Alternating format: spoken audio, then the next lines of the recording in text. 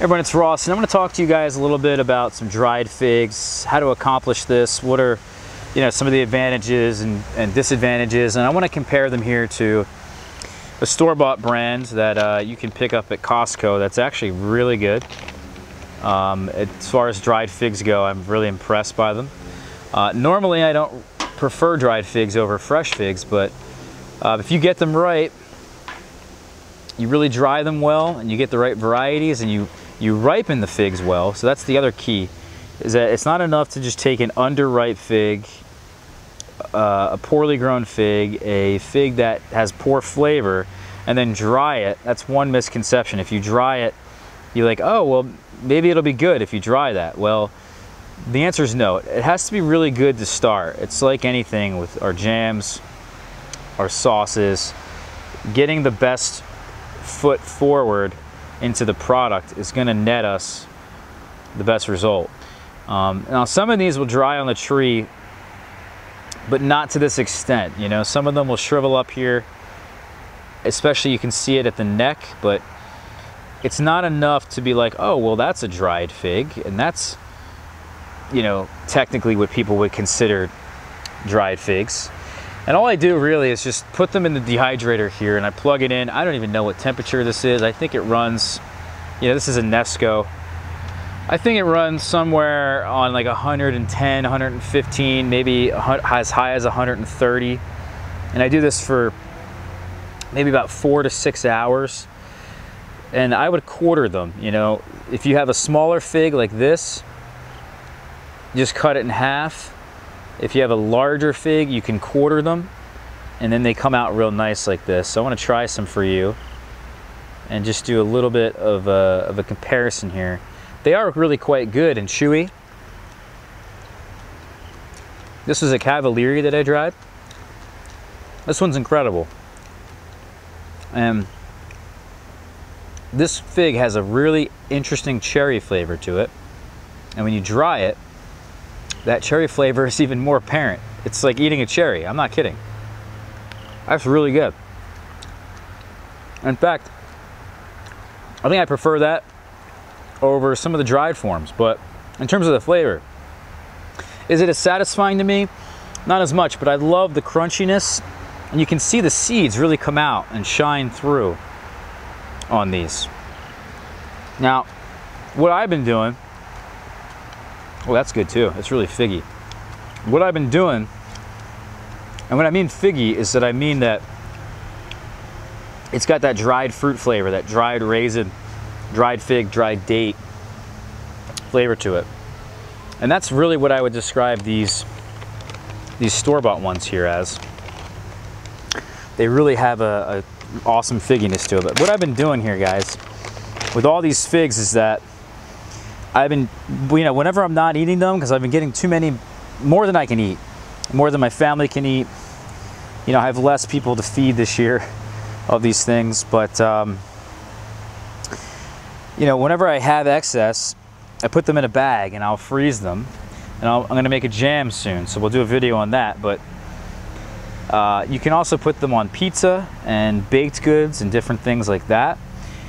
But another thing, like you like you're seeing here, is you can just dry them. And um, these particular figs we got at the store, these are dried whole. They're not quartered because what they do is they'll they'll literally just lay them down in a Mediterranean dry climate, and they'll just you really just take them out after you pick them. You just lie them down on you know something that's breathable, um, something that is going to keep the bugs away. You can cover them.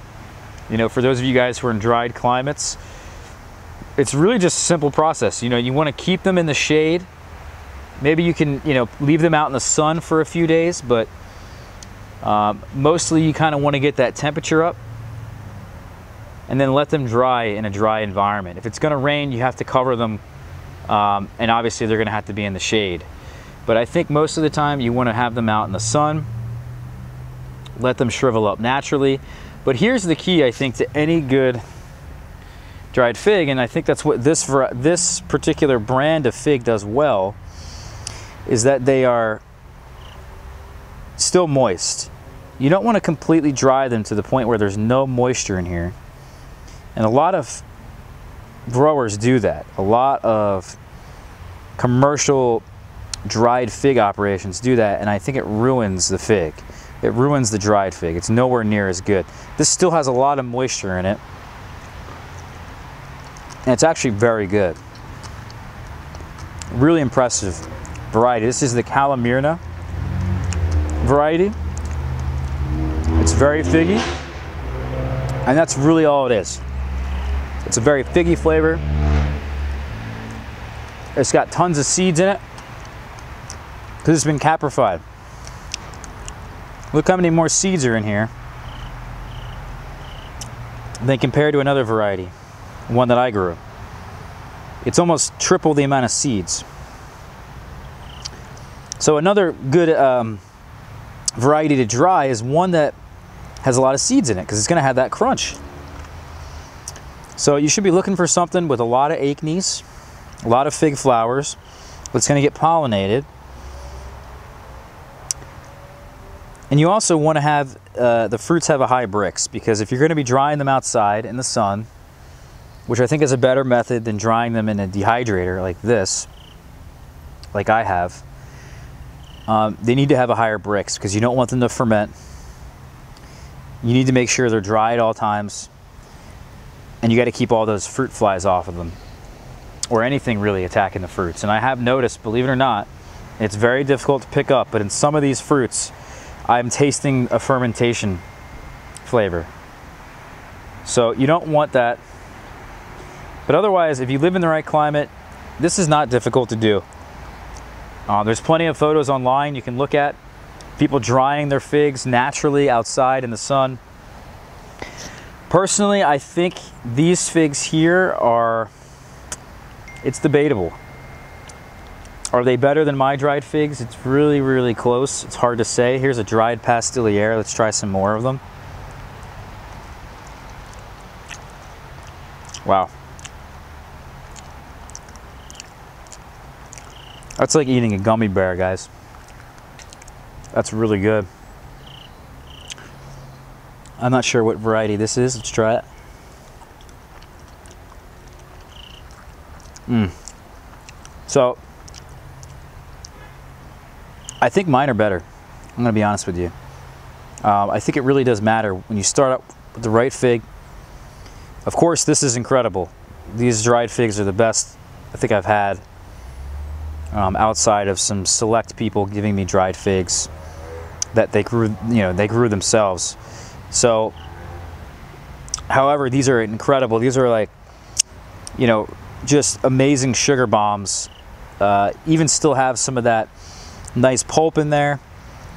And they have a really nice figginess, where if some of mine have different and interesting flavors to them that you're just not going to get and you're in buying a dried fig you're not going to get that so maybe you want something different in your fig i don't know but uh, these are just really incredible. And I know I have a friend that lives in Texas and grows his figs in a greenhouse. And what he does is he'll dry them um, naturally on his tree in a controlled environment, just enough to get some of that water out of them. And then he eats them and they're perfect like that.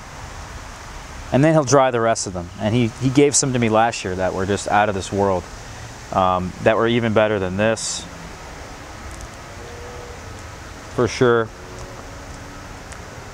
That was a Deanne Manel. That's incredible, actually. That's a really good dried fig. But if you're gonna go with dried figs, I personally recommend this brand here. You can get it at Costco. I'm not I'm not uh, promoting them or anything. I'm not um, I'm not being paid anything by these guys. Um, but uh, I personally believe these are the best. So anyway, these least the best you can buy in the United States. So I hope you guys enjoyed this little quick video on dried figs. We talked a little bit about it. If you want to dry your figs here, it's going to be very difficult. If you guys live in a dry climate like California, or I should say parts of California and, and Arizona, maybe West Texas, uh, you can do this. you can dry them naturally on your tree and you can do this outside. I don't know why people don't do this more. Um, and just have a tray, you know, something that's breathable. Again, cover it. Um, make sure no rain touches it. Or you can bring them inside and get yourself a $35 Nesco dehydrator. Again, not sponsored by them either, but it's just it's just so simple. Um, and this thing has so many other uses to it, not just for drying figs, but think about the peppers you can dry, um, tomatoes, all fruits. Bananas go really well in here. Every fruit you can stick in there. Um, but yeah, I think that's really what I wanted to say to you guys on this. Um, I hope you enjoyed this little video on drying them. And uh, yeah, it's just one little thing you guys can do. So, oh, I want to mention, if you guys want to dry them here, you're going to be, uh, it's going to be very difficult. It's almost impossible. So you have to really pick them and put them in a dehydrator. There's no other way. It's just too high of humidity. You need a lower humidity. Of course, no rain, but the humidity also kills this, right? You want to have a, a fig that's grown in a very dry environment um, also with a drier soil. You want to dry farm these things. The less water they uptake, the more Brix they have. The higher the Brix they have, the easier they will dry naturally without spoiling. You need to have a high Brix. And thinking about Brix when growing these fruits is extremely important. It's just so, so important, especially when doing this. So less water. All right, guys. Take care. We'll talk to you soon, all right? See you for tomorrow's video.